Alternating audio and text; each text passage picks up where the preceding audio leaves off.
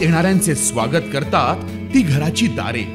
आपले घर बंगला ऑफिस फार्म हाऊस यासाठी सुंदर डिझाईन केलेली jumbo French door safety door आणि तीही अठरा gauge G I section material वापरून आणि ऐंशी मायक्रॉन पावडर कोटिंग केलेली संपूर्णपणे मेंटेनन्स फ्री नजर खिळून राहील असे आकर्षक सर्व प्रकारचे डोर्स मिळण्याचे नाशिक मधील एकमेव नाव. शिवाय enterprises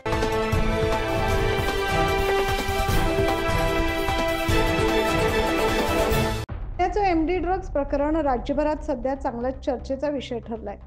नाशिक शहरात देखील एम डी ड्रग्ज सारख्या अंमली पदार्थांची विक्री होत असल्याचा प्रकार समोर येतोय.